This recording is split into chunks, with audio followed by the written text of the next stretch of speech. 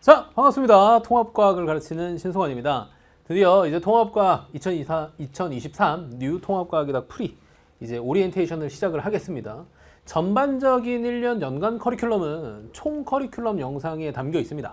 거기는 1년 동안 제가 수업을 어떻게 운영하고 진행할지 그리고 여러분들이 어떻게 이용하면 좋을지에 대한 영상이 메인으로 담겨 있다면 이 영상은 이 강좌를 어떻게 이용하는 게 가장 좋은가 누가 이용해야 되는가 이런 것들에 대한 내용을 다뤄드릴 겁니다. 그래서 어, 수업 바로 들어가기 전에 이거 꼭 보시고 진행하시면 좋을 것 같습니다. 한번 해보죠. 자, 수강 대상입니다. 통합과학을 시작하고 싶은 누구나 들으셔도 됩니다. 뭐 과감하게 얘기하면 중학교에서 배운 게 없는 학생도 들어도 됩니다. 초등학생이 들으면 좀 쉽진 않을 것 같아요. 근데 중학교 1학년, 2학년, 3학년 정도면 뭐 충분히 들을 수 있을 거라고 생각을 하고요. 두 번째는 통합과학 만점을 위해서 다지고 싶은 사람들이 들으셔야 됩니다. 그러니까 통합과학을 한 대충 한 80점 맞고 치워야지 이런 생각이면 그냥 시작을 안 하는 게 낫지 않나? 사실상 이 통합과학이닭 PRE 강좌는 얘만 들어가지고 통합과학 무조건 만점 나옵니다. 이거 다 개뻥이죠. 절대 안 됩니다.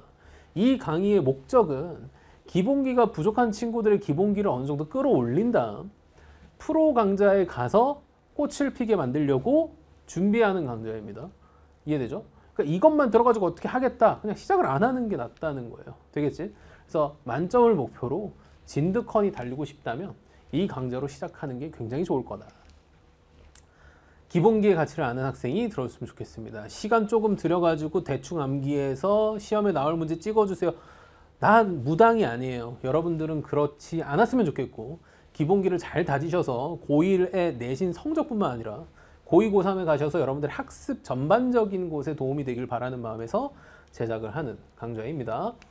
강좌의 특징은 일단 첫 번째는 스튜디오 강의입니다. 뭐 저는 이제 스튜디오 강의밖에 안 하기 때문에 12월 중순에 마무리를 할 예정이고요. 지금 현재는 1단원 전 단원은 어, 끝나 있는 상태입니다. 다 촬영을 미리 해놓은 상태고 그래서 12월 중순, 그러니까 넉넉 잡아 12월 중순까지는 모두 마감을 할 거다라는 거예요.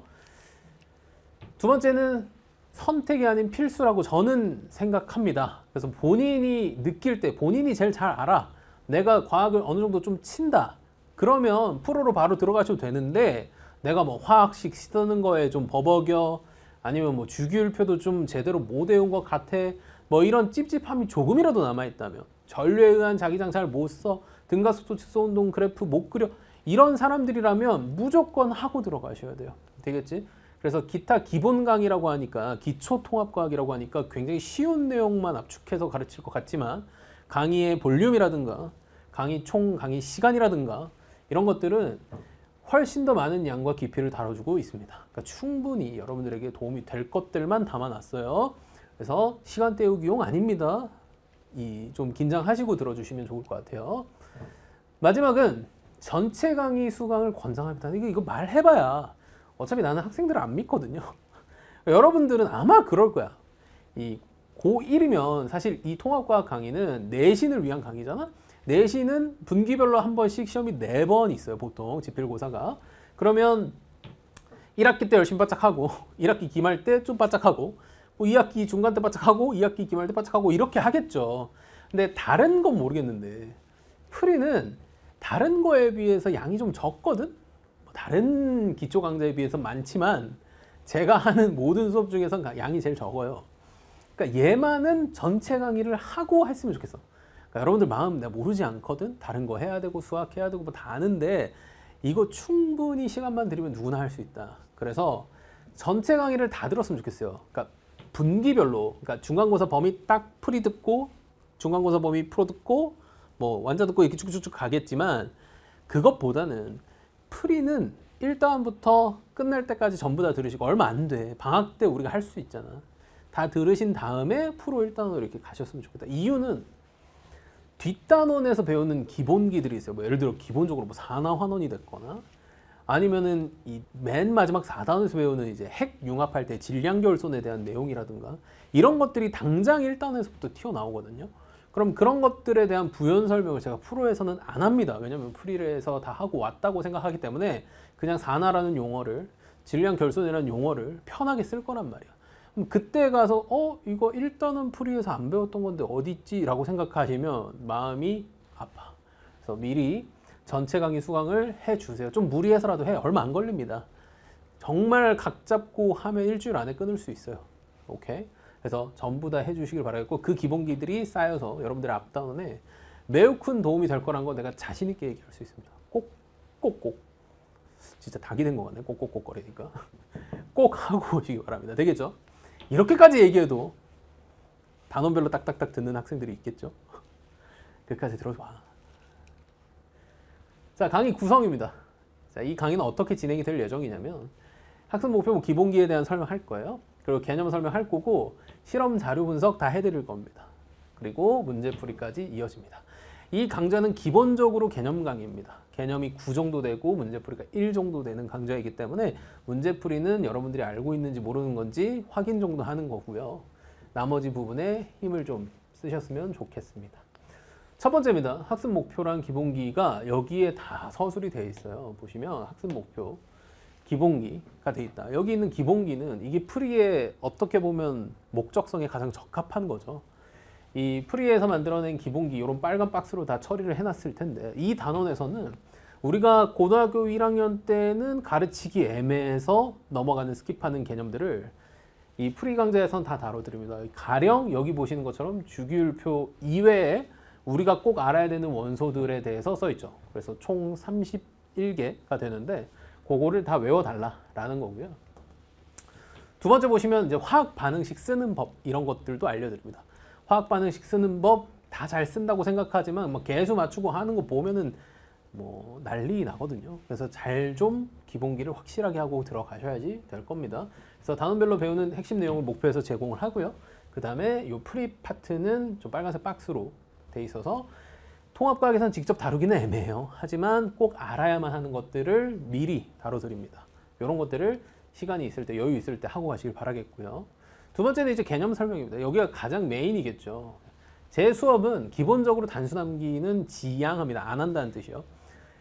이해 기반의 수업을 합니다. 그래서 학생들한테 외워야만 하는 것들이 있죠. 뭐 예를 들어서 탄수화물 구성 원소는 탄소, 수소, 산소다 이런 거는 외워줘야 되거든요. 이해할 수가 없는 거잖아. 이런 외우는 거는 외우셔야 됩니다. 라고 암기 영역을 반드시 지정해줘요. 이해되죠? 근데 그게 아니고서는 대부분 다 이해 기반으로 수업을 합니다. 그러니까 이해를 기반으로 내 머릿속에 들어와야 저는 장기적으로 간다고 믿는 사람이에요. 그래서 단순 암기할 영역을 최소화하고요. 이해할 수 있는 영역을 최대화해서 여러분들의 사고력과 추론 능력을 극대화시키는 게 제 목적이야. 그 정도의 그릇이 되면 이제 프로 가셔서 여러분들이 날뛸 수가 있다. 이런 생각을 하는 겁니다. 그래서 이렇게 진행을 할 거고 수업 자체는 판서로 수업을 합니다. 왜냐하면 처음부터 끝까지 템포 맞춰서 가고 싶어서 하나씩 쓰면서 가니까 천천히 따라오시면 됩니다. 되겠죠? 세 번째는 실험과 자료 설명도 다 합니다. 우리 1단원 켜보시면 아시겠지만 여기에 허블의 모의 실험을 직접적으로 설명을 해드리고 좌표 찍어드리고 자료 어떻게 분석되는지 나오는지 여기서 우리가 얻어가야 될 거 가져가야 될 거 이런 것들 다 설명해 줍니다. 그러니까 이런 것들이 숨어 있기 때문에 절대로 쉬운 강좌가 아닙니다. 중학교 수준에서 할 수 있는 사고는 다 하고 갈 거예요. 그래서 실험 자료 분석, 이런 것들 다 해드릴 거고 결론 도출하는 것까지 이어갈 겁니다. 우주는 가속 팽창한다 라는 사실을 외우는 게 아니라 여러분들이 이해하고 결론을 도출하도록 만들어 드릴 겁니다. 그게 제 수업이 있는 이유고 내가 있는 이유예요. 시험에 빈출되는 자료들은 자주 보시는 게 좋겠죠. 뭐 가령 알칼리 금속의 실험이라든가 이런 것들도 전부 다 다뤄 드릴 테니까 그런 자료 위주도 한번 보시길 바라겠습니다. 마지막입니다. 문제풀이고요. 한 단원당 보통 네 문제씩 수록되어 있고 전부 다 OX 형태로 제시되어 있습니다. 여기 보시면 객관식이 아니야. 번호가 없죠. 그죠? 그래서 각각의 기억 번호, 니은 번호, 디귿 번호를 전부 다 확실히 알고 넘어가기를 바라는 마음에서 이렇게 제공을 할 거고요. 우리는 문제를 풀면서 개념을 다지고 개념을 통해서 문제를 푸는 법을 익히는 이런 과정을 거쳐 주셔야 되겠습니다. 되겠죠?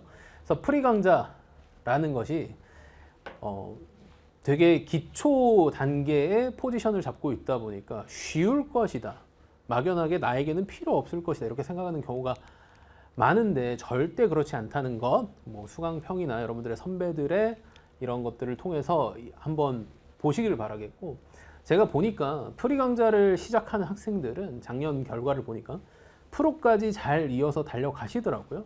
그래서 이런 것들도 연계성도 굉장히 좋으니 여러분들에게 분명히 만족할 만한 수업이 될 거라고 확신합니다. 그래서 꼭 들어보시고 여러분들이 고1 때부터는 이 과학을 더 이상 못하는 과학 찌질이가 아니라 과학을 잘하는 과학 탑으로서 살아가기를 기도합니다. 기대합니다. 자, 여기까지 해서 오리엔테이션 마치도록 하겠습니다. 감사합니다.